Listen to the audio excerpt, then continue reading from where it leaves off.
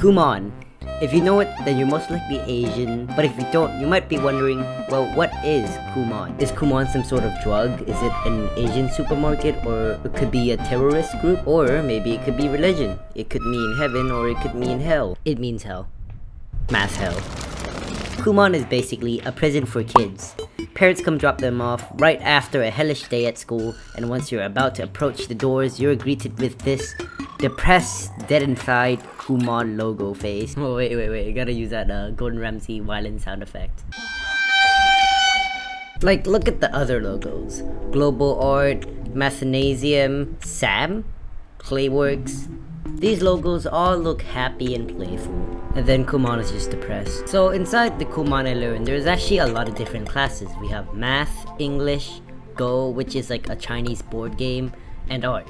I'm not sure why my Kumon had so much different subjects. Normally Kumon would only have English and Math, but maybe they just needed more money. Either ways, I didn't care much because I knew that I would only learn math there. My mom signed me up for all of them. So now I basically have to sacrifice 3 to 4 hours of my life learning at Kumon. So what I basically do in Kumon's math class is I first go into the class, submit in my homework, which I have spent 3 hard working hours on it. 2 hours of it was spent on crying, 30 minutes was spent on my mom scolding me, 10 minutes was wasted on begging for my sister to tell me the answer, 19 minutes realizing I suck at math, and lastly, 1 minute packing up my empty Kumon homework back into my cute little Kumon bag. I would normally just tell the teacher I forgot my homework for like the sixth time in a row since the teacher doesn't give a shit about what you do. So then I would just go to the cubby with my name on it, grab my worksheet, find a table, and just start working. Just just work, and then you're gonna have depression become the Kumon logo. And then you just submit in your work, grab your homework, put it in your Kumon bag, and then guess I can go home now. Well, no, because next to the math room, there's the Go room, and I basically have to learn two more hours of Go. So in the Go room, perfect to fit about four people, there are about seven people in there. And they're those kids with the Thai school haircut that uh, the schools forced them to.